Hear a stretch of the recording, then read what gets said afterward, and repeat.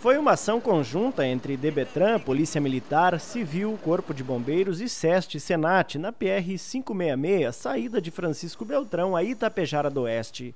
Nessa reta, uma simulação de acidente em que o culpante não usava o cinto, foi lançado para fora do carro e morreu. Nós colocamos uma vítima que foi ejetada, justamente como se ela não estivesse utilizando o cinto de segurança.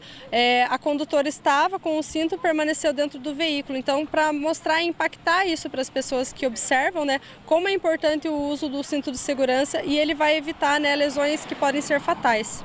A ação faz parte do Maio Amarelo, mês voltado à conscientização e prevenção a acidentes no trânsito.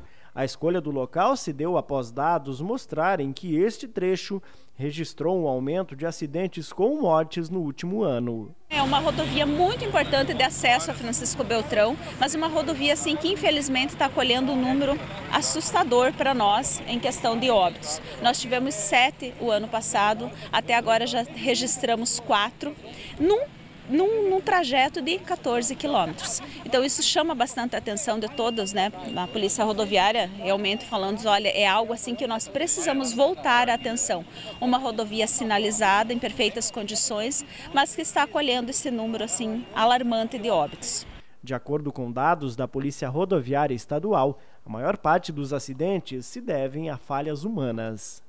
Geralmente imprudência, excesso de velocidade, ultrapassar no lugar não permitido, e outros fatores, a gente pode citar tantos outros como embriaguez, né?